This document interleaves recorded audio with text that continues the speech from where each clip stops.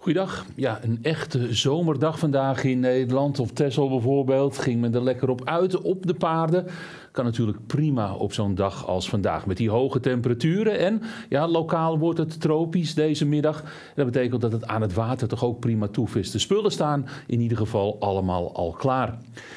Ja, we hebben te maken met een zuidelijke stroming die zeer warme lucht aanvoert. Verder zijn er wat sluierwolken aanwezig en schijnt de zon volop. En dat betekent dat vanmiddag warm wordt, 25 tot 30 graden. We zien hier een storing boven de Noordzee liggen en boven het westen van Frankrijk. En die komt naderbij. Die gaat vannacht en morgenochtend passeren. En dat gaat wat buien opleveren in ons land. Daarachter wordt het weer droog. Morgenmiddag ziet het er prima uit weer met flinke zonnige perioden. Zal het niet meer zo warm zijn als vandaag. En de dagen nou, er kan nog wel eens af en toe een buitje vallen. Maar het is zeker niet zo dat het slecht weer gaat worden. Want er komen nog heel wat zonnige uurtjes aan op donderdag en vrijdag. En ook in het weekende, dan zien we de temperatuur ook weer omhoog gaan. Kan zomaar eens een zeer warme periode worden begin volgende week. Kom ik straks op terug. Zoals gezegd, vanmiddag maximumtemperaturen tussen de 25 en 30 graden. En ook vanavond is het nog lang warm met veel zon. Als de zon ondergaat, dan is het zo tussen de 21 en 23 graden. En is er wel al wat meer hoge bewolking aanwezig.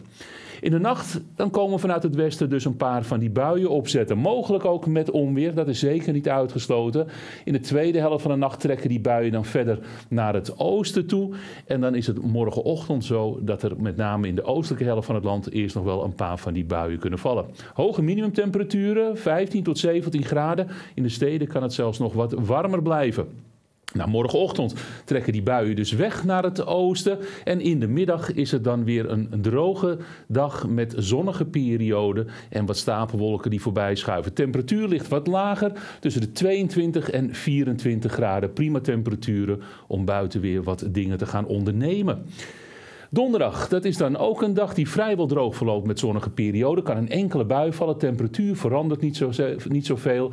En vrijdag, ja, dan is de buienkans weer net iets groter, met name in de ochtend. Op zaterdag zien we dan dat de temperaturen al geleidelijk aan omhoog gaan. Kan het alweer zomers gaan worden in het zuidoosten van het land. Kijken we nog wat verder, want ik zei al, er komt echt even een wat warmere periode aan. Zo lijkt het. Gisteren was dat nog erg onzeker, maar nu zien we toch voor de maandag en de dinsdag opeens temperaturen rond de 30 graden. Er is nog steeds wel wat onzekerheid, maar de koudste oplossingen die zijn inmiddels wel verdwenen. Dus grote kans dat het tropisch gaat worden begin volgende week. Zeker in de zuidelijke helft van het land is die kans aanzienlijk. Woensdag dan die onzekerheid en daarna dan weer wat lagere temperaturen. En hier kunnen we ook mooi zien dat het echt wat warmer gaat worden. Want de kans op zomerse dagen vanaf zondag is toch echt wel vrij groot.